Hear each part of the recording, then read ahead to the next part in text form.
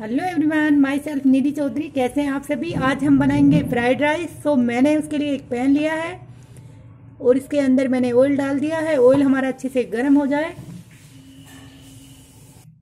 Oil हमारा जो है वो अच्छे से गर्म हो गया अब हम इसमें डाल देंगे अदरक लहसुन का पेस्ट और साथ में कटी हुई प्याज।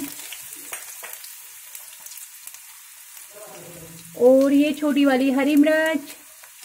बारीक बारीक कट किया है हमने इसको। अब इसमें डाल देंगे हम कटी हुई जो शिमला मिर्च है, उसको हल्का ही रोस्ट करना है। अब इसमें हम डाल देंगे केबीज पत्ता गोभी।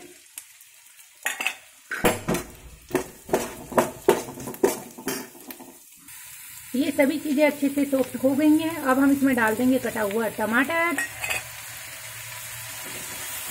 इसको भी हल्का सा पकाएँगे। अब हम इसके अंदर डाल देंगे जो बॉईल किए हुए राइस है हमारे पास, उनको। और इसमें हम डालेंगे काली मिर्च, नमक,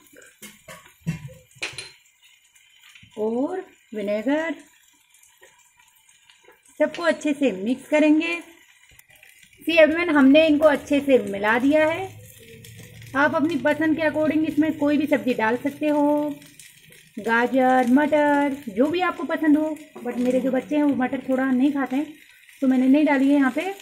तो हमारे जो फ्राइड राइस हैं, वो झटपट बन के तैयार हो गए हैं।